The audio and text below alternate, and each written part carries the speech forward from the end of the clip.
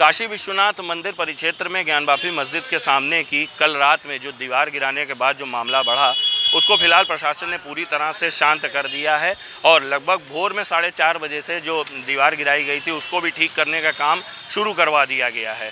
जो आधिकारिक सूत्र हैं, उनका कहना है, फ़िलहाल दीवार तैयार हो चुकी है और जो प्रशासन ने यह वादा किया था कि 12 बजे यानी जुमे की नमाज़ से पहले उस दीवार को तैयार करा दिया जाएगा, वो हो चुका है।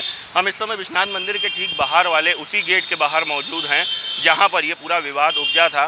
फ़िलहाल सारी चीज़ें नॉर्मल है, कल रात में कुछ सोशल मीडिया पर जो गलत मैसेज वायरल हुए हैं, उसके कारण यहाँ पर भीड़ इकट्ठा हुई थी। प्रशासनिक सूझबूझ की वजह से चीज़ों को मैनेज किया गया और फ़िलहाल अब सारी चीज़ें सामान्य हैं और दीवार उठ जाने के बाद दोनों पक्ष एकजुट होकर बनारस की जो धर्म, संस्कृति और सभ्यता की कहानी है, उसको आगे बढ़ा रहे हैं। गोपाल मिश्र ईटीवी वाराणसी।